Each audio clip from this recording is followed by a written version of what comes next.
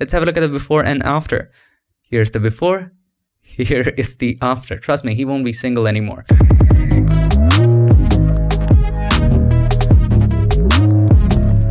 Hi there, this is Unmesh from Piximperfect and today I'm going to share with you very simple steps to fix messed up hair in Photoshop.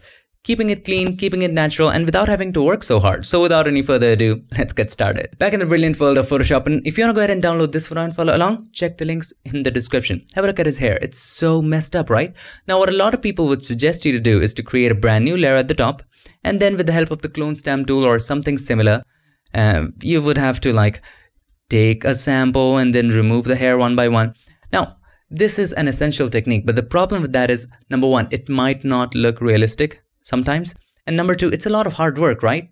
Now, I'm not saying this is not a useful technique. We will be using this later in this tutorial. However, there's a better technique that will keep the natural edge without you having to remove the hair and create an artificial one. Here's how to do it. It's actually pretty simple. But before we move on to doing it, let's understand one more concept here. So anything beneath this line looks normal, right? Everything beneath this line looks nice. So this is the normal hairline. So I'm going to draw it right there. But anything above that line is something which is messed up and we don't want that. But anything beneath that line is alright. We want to keep it. So is there a way to keep all of these area and remove all of that area and use the edge of this area? How can we do that? Well, again, seems like it's pretty simple. All you have to do is to choose the lasso tool right there at the top and then make a huge chunk selection of that particular area taking excess of both sides. So we're going to select the background just a little bit, too much, and the inside a little bit as well. Now you can take your time to do this in separate chunks of hair if you want to, but I'm trying to save time right here. And all we have to do is to press Ctrl or Command J. That would put it on a separate layer. And we can actually name this Hair Fill. Alright, now all we have to do is to bring it down to the normal line. So what was the normal line again? You can guess it or you can draw it if you want to. So I'm going to draw it again for you, for your reference. So up until this point the hair was right, anything beyond that the hair was all messed up. So this is okay. This is the line that we are going for now. After this process the hair might look a little too, you know, pressed in but don't worry about that, we're gonna fix that later. Alright, so all we have to do is to select the hair fill, press Ctrl or Command T, you can actually bring it down to this point. A little bit of hair above that is fine, that's not a problem at all. But you need to just bring it to that normal point. Okay, now what we have to do is to warp it to match. So right click on it and then choose warp. Now you can actually take this side up to kind of match it. You can press it if you want to just like this. Alright, that looks alright. Once you're satisfied with it, hit enter or return. Now you can delete this guideline layer that was just for demonstration. Now with the hair fill layer selected, click on the mask button. This creates a mask. Now what is the concept of mask? Black hides and white shows up. So right now the mask is completely white. So everything in this layer shows up. As soon as we start painting with black, those areas of this layer will hide. So take the brush with black as the foreground color and take a soft round brush. Slowly and gradually start painting black from the bottom inside of the mask. Make sure the mask is selected. This will hide it. See? So as we understood, everything beneath that green line, we need to keep everything beyond that green line, we don't need to keep. We already brought it down so that we don't keep all of that. Now we'll slowly and gradually erase it. Now if you want, you can also decrease the flow to 30% or something like that so that you get more chances of painting and remove it gradually instead of removing it all at once at 100. So let's keep it at about 30 and slowly and gradually start painting. Sorry about the background noise. Somebody's whistling or playing the flute on the streets. It's fun to listen to sometimes. Alright, you don't have to pay so much attention here, just paint and fill up these edges. See how I'm filling up these edges, these gaps? If you think you have accidentally painted on an area, you know what to do. Press X. This will toggle the foreground and the background color. So if you're painting in black and you think you shouldn't have painted there, press X to make it white and paint that area back in. You don't need to be accurate at this point. We will be accurate later. At this point, it's just making sure that everything just fills in pretty nicely.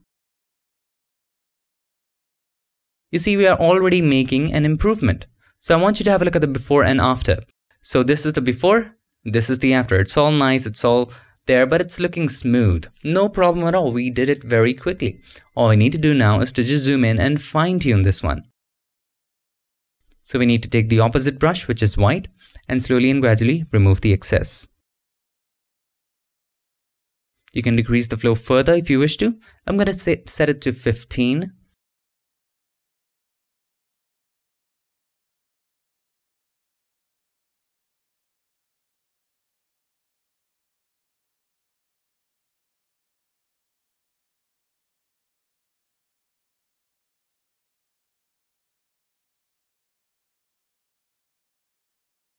Now as you can see the hair looks so much cleaner at this moment. If you just zoom in, have a look at the before and after.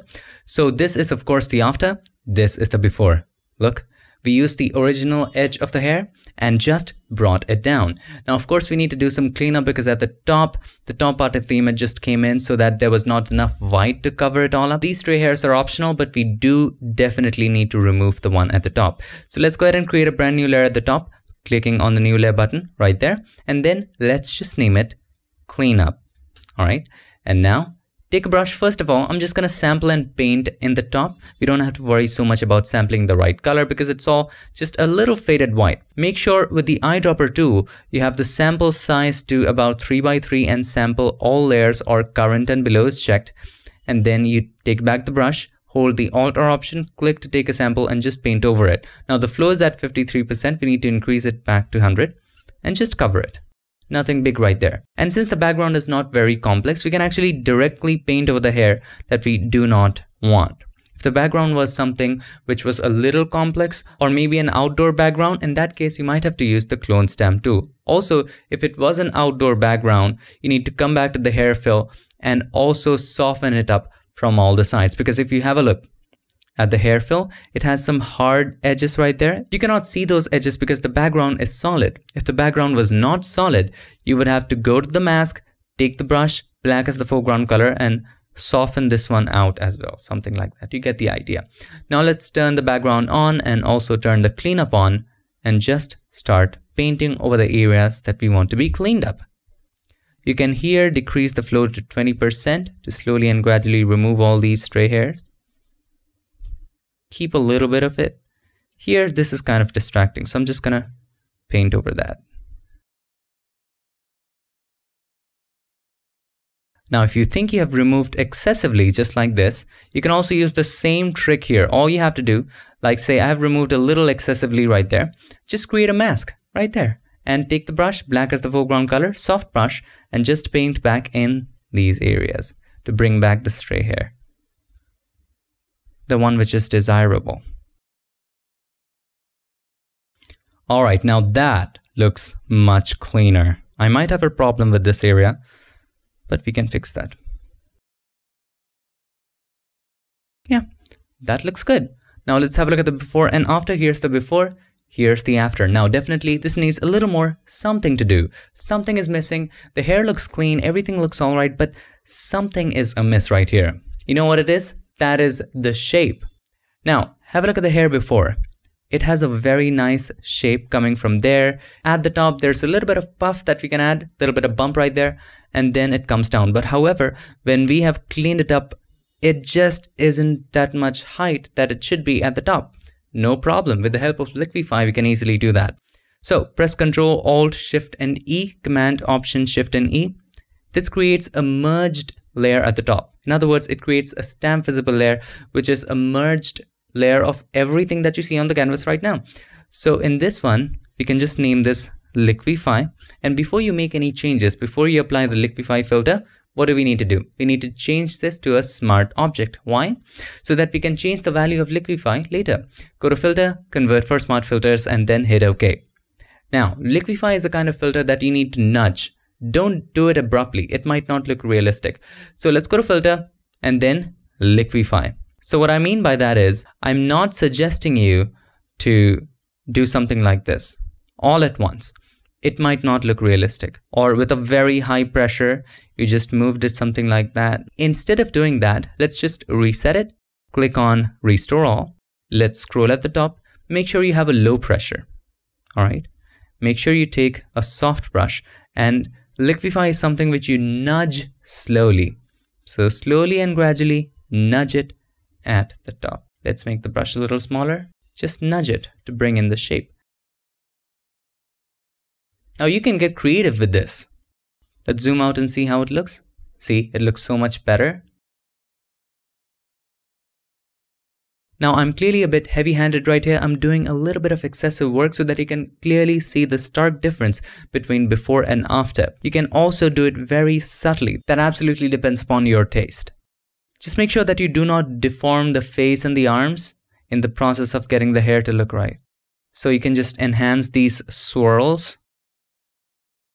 Now at any point of time, if you want to dim it down, you can easily do that by coming down, scrolling down, and then clicking on reconstruct. Now, this is just like an undo on a brush. If you take it all the way to the left, the hair will come back to its original position and if you slowly and gradually increase it, it will go to where you had left it. So see as the hair is bringing up that puff, this can be a nice animation. Looks like something is growing out of his hair.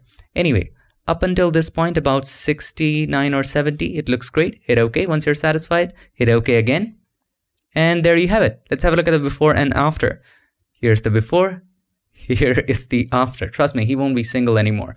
Alright, so there we go. That's how to fix hair in Photoshop. All you have to do is to select a huge chunk of the hair, just as we did right there. Let me just show that to you. So we selected a huge chunk, pasted it on its own layer, and then with the help of the mask, we started painting from the bottom. We cleared it all up. We used the original edge of the hair by bringing it down. And then we cleaned it up a little bit at the top. And on the very top, we used Liquify to add shape to it. That was pretty much it. I hope this video helped you and if it did, make sure to give us a like and also don't forget to subscribe and not just subscribe. Ring the bell so that you my friend don't miss any other future tip, trick or tutorial. I would like to take this moment to thank all these nice and amazing people for supporting this channel on Patreon and helping keep Piximperfect free for everybody forever. Thanks so much for all your support. Thank you so much for watching. I'll see you guys in my next one. Till then, stay tuned and make sure that you keep creating.